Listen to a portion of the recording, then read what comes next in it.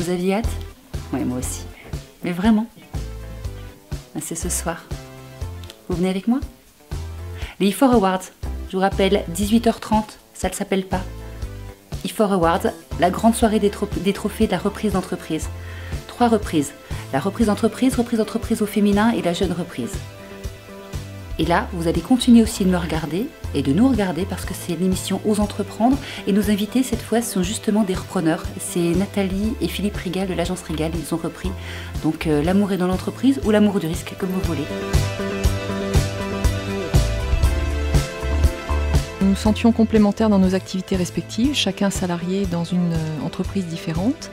Et puis euh, l'impression aussi euh, depuis, euh, depuis 20 et 25 ans de vie professionnelle d'avoir un peu fait le tour de la question, enfin du moins d'avoir bouclé la boucle et puis que c'était le moment effectivement de se lancer en tant qu'indépendant que nous avions toutes les armes en main pour se lancer en tant qu'indépendant. Et donc pour répondre à votre question, oui, c'est un grand bonheur au quotidien puisque la complémentarité dans la vie privée s'est avérée également identique dans le travail.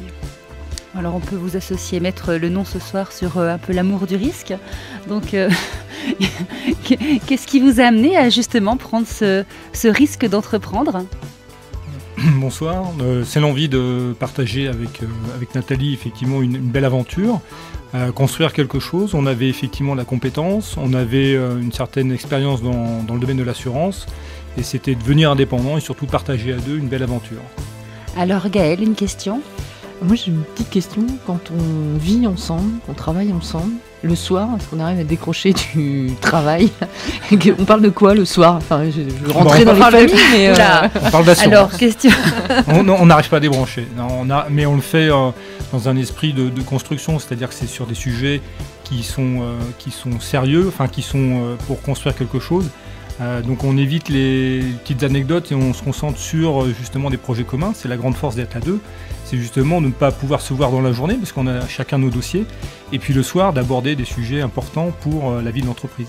Si vous pouvez donner en, deux ou trois mots un conseil rapide à nos auditeurs qui se retrouvent dans une situation, bah voilà, par exemple, des cadres sous pression qui ont l'impression d'avoir fait le tour, puis qui se disent oh là là, je vois pas le bout du tunnel, mais se lancer c'est possible. Alors, quels sont les conseils, quelles qualités De bien, préparer son, projet, de, de passer par une structure spécialisée en création reprise d'entreprise qui peut aider à prendre de la hauteur euh, de vue.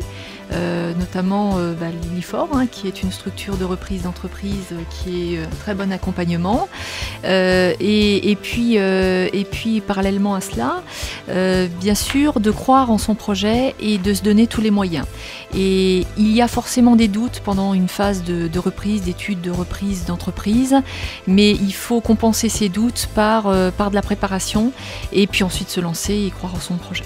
Et le dernier petit conseil rapide, si vous êtes seul et que vous êtes au bureau, alors comment il faut faire pour rencontrer l'amour Je plaisante, je vous laisse, je vous laisse chercher. Alors vous pouvez nous retrouver sur notre page Facebook Ose Entreprendre et euh, nous répondrons à vos questions comme d'habitude. N'hésitez pas à contacter RCF pour vos nombreuses questions. À bientôt